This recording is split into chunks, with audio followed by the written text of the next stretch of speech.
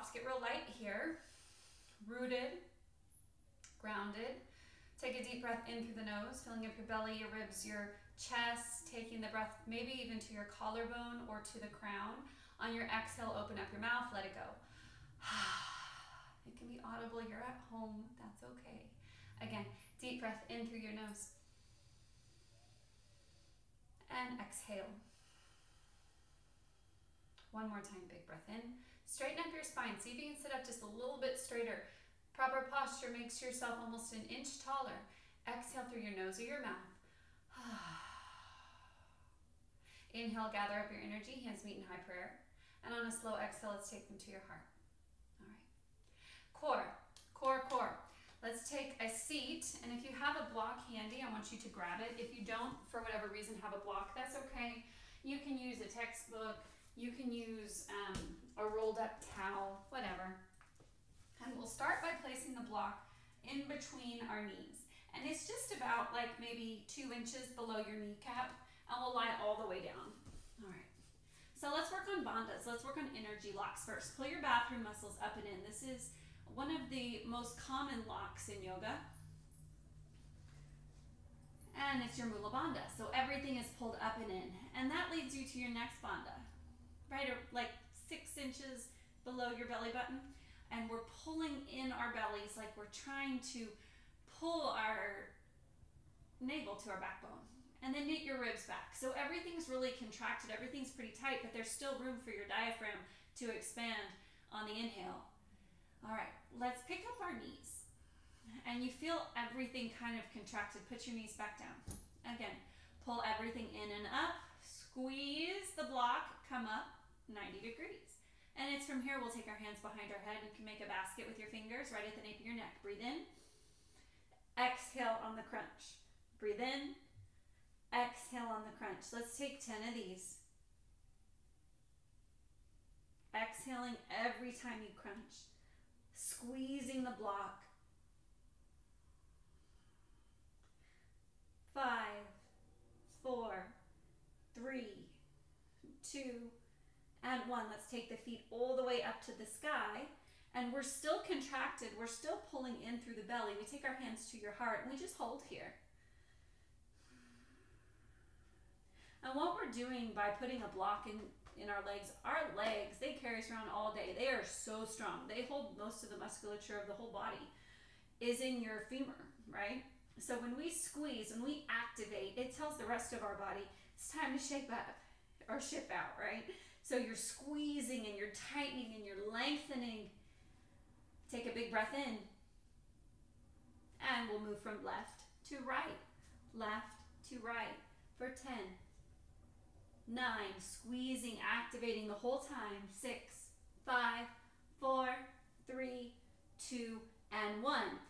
We touch our toes. If you can't touch your toes, just reach for them and we'll pull up, down, lifting up through your pelvic floor, squeezing your belly. Beautiful. Let's take five, four, three, two, and one. And it's up here that you start to feel a little bit of pulling.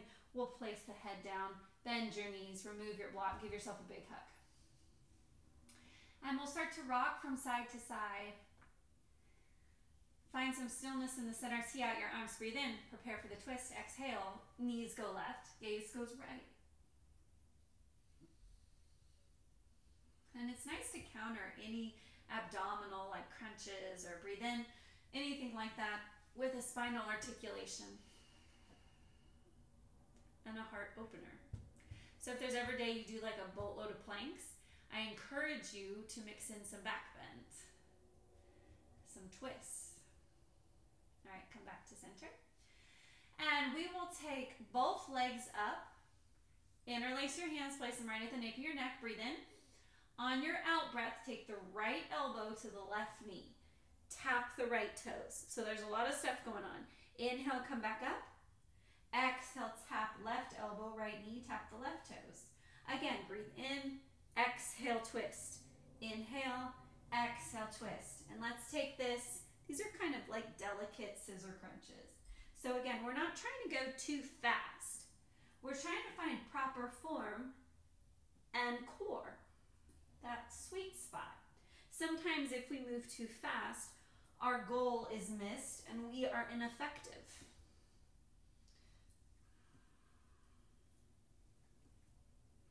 Let's take 10 more.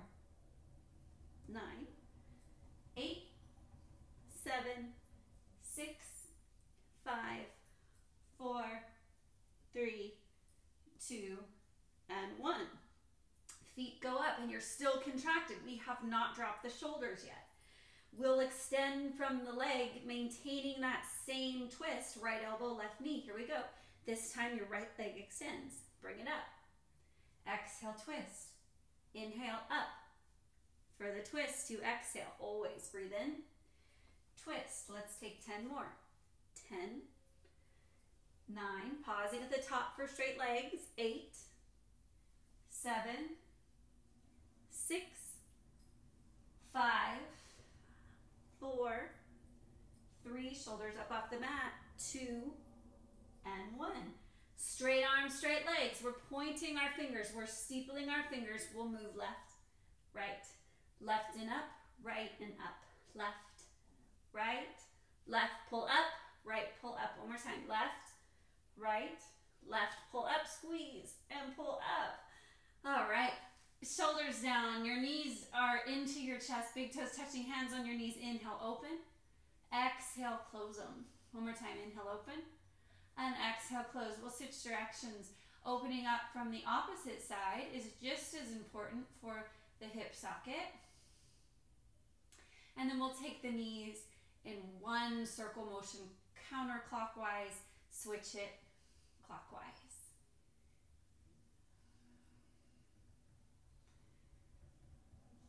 Beautiful. Catch on your knees. We'll slowly roll all the way up. And now you can start to feel your belly. I can feel my abdominals. They've been worked a little bit. We move into the next practice, which moves from a supine. Supine just means on your back, reclined, um, to seated. So you're on the sits bones, and again, wiggle out the flesh from underneath the sits bones. Maintain a straight line of energy from tailbone out the crown of your head. So in boat pose, you usually get a little ego creeping up where you want to straighten your legs almost immediately I want you to let that go for now. If it comes easy to you to get your legs straight, great. If it doesn't, there's so many options, effective options in this beautiful boat pose. Um, the Sanskrit term for this is Navasana. Pull your navel in, knit your ribs back. All right, so you feel that lift. We have a sturdy lift. We are supported from here, not from here, not from here. Everything is moving from our belly. All right, breathe in. On your exhale, toes, arms. Your arms are just a natural extension of the shoulder. And so some of us, I just did it, we tend to reach forward. I want you to pull your shoulders back, place them in line with their socket, and then lift from the belly. You're lifting your knees to about 90 degrees. All right, if you want, you can take this all the way up, or you can stay here with me. This is where I stay. This is my most effective point of this pose right now. And that's why we do not say full expression of the pose because this is my full expression and it might not look like yours and it might not look like hers, but this is where my practice is. Breathe in. On your exhale, we're laying it flat, hovering one inch up off the mat. Low boat. Beautiful. Inhale, come up to boat. Exhale, low boat tuck your chin. We have another bandha at work now. Inhale up. Exhale, hover. Inhale up. On your hover, feel like you're squeezing a big apple in between your chin and your sternum. Exhale, hover. One more time, inhale up. Exhale, hover. Place your hands at side body. We'll fly here.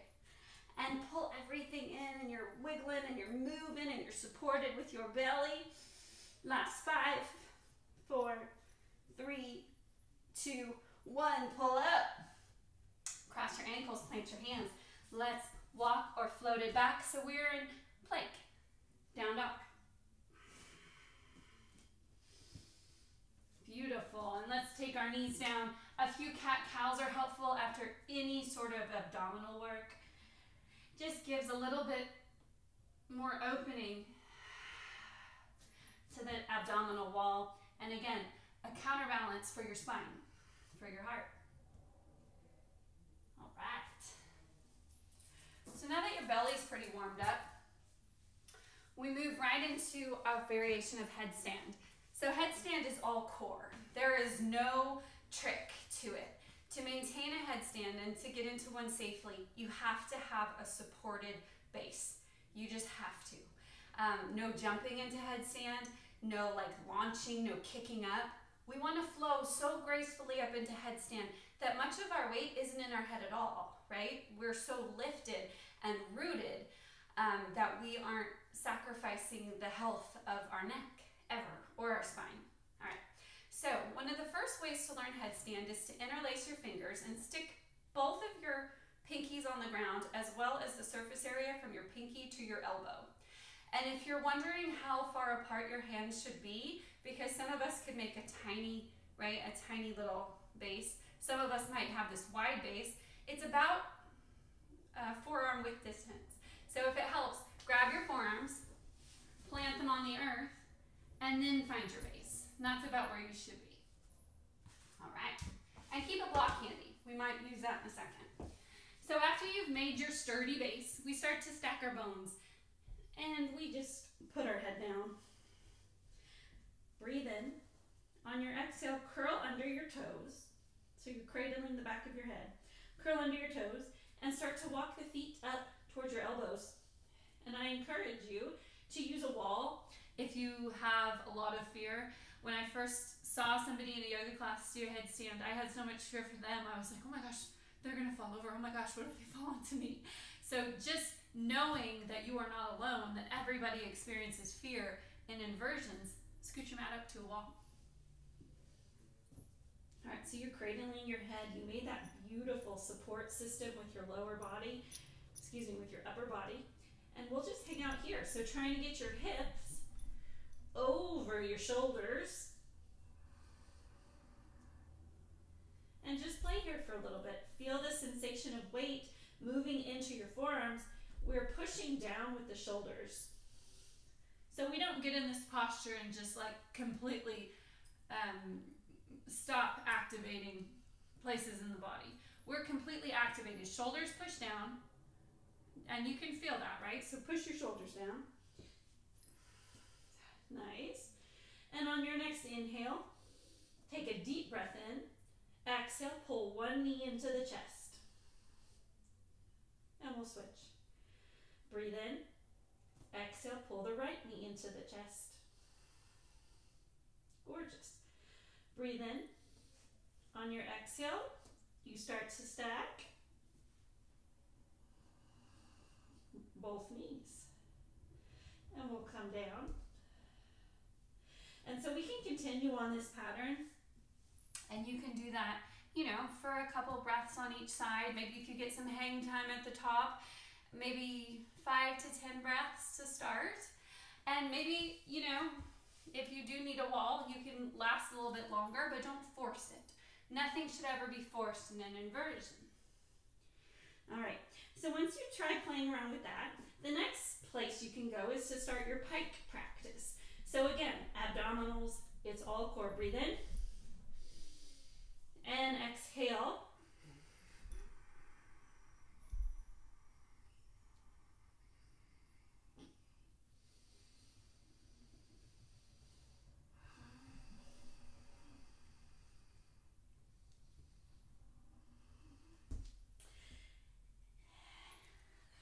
I can't talk when I'm upside down.